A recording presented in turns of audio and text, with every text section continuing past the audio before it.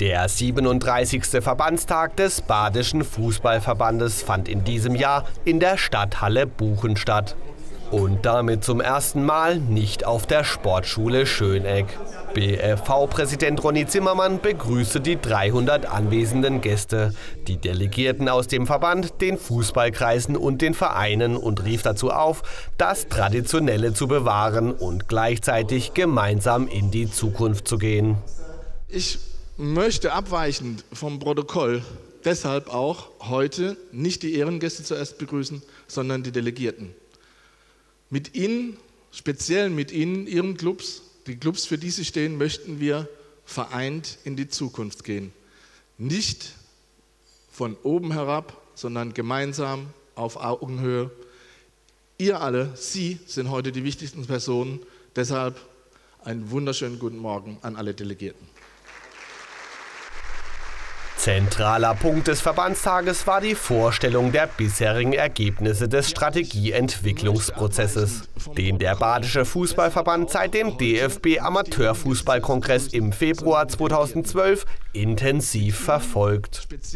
Also für mich ist das Wichtigste, ähm, die, diese, nicht die Mangelverwaltung, wie ich es bezeichne, sondern die Mangelbeseitigung. Man muss auf der anderen Seite gucken, dass, dass ein, wenn ein Kind mit dem Fußballspielen beginnt und in den Verein eintritt, dann muss man versuchen, dieses Kind so zu beschäftigen, dass es bei diesem Sport und bei diesem Verein bleibt.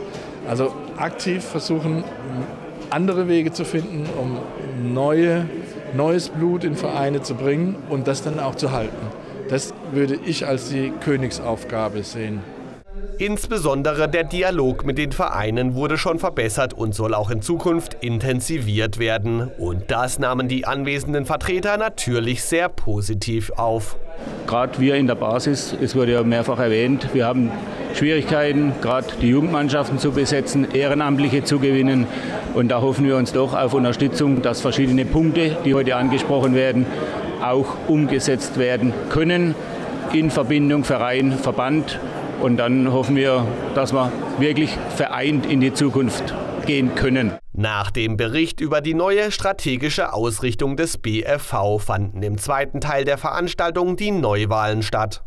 BFV-Präsident Ronny Zimmermann wurde dabei einstimmig und mit großem Applaus in seinem Amt bestätigt. Mit Nadine Imhoff wurde auch erstmals eine Frau ins BFV-Präsidium gewählt. Die neue Vizepräsidentin arbeitete bislang schon bei der Entwicklung der neuen strategischen Ausrichtung mit und möchte ihren Fokus insbesondere auf den Bereich des Mädchenfußballs legen. Also in den letzten Jahren hat sich da schon äh, sehr viel getan, dank auch äh, Ronny Zimmermann und Dani Quintana, die da viel vorangetrieben haben. Ich äh, denke mal, es muss in die Köpfe von den Vereinsfunktionären, dass die Zukunft eben auch im Mädchenbereich liegt, nicht nur dass der Fokus auf die Jungs gesetzt wird, sondern dass man eben auch guckt, dass man die Mädchen in die Vereine bringt. Auch von Seiten des DFB konnte am Ende des Tages ein positives Fazit gezogen werden. Und so blickt man für den Amateurfußball überaus optimistisch in die Zukunft. Im Haus des Fußballs ist jedes Stockwerk wichtig.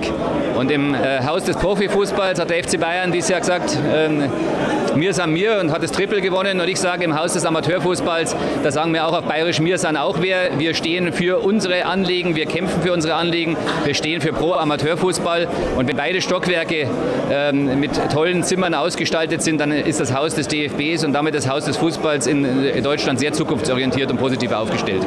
Der 37. Verbandstag zeigte deutlich, dass der Badische Fußballverband einen neuen Weg eingeschlagen hat und eine Ausrichtung in die Zukunft ganz nahe an seinen Vereinen und am Puls der Zeit gefunden hat.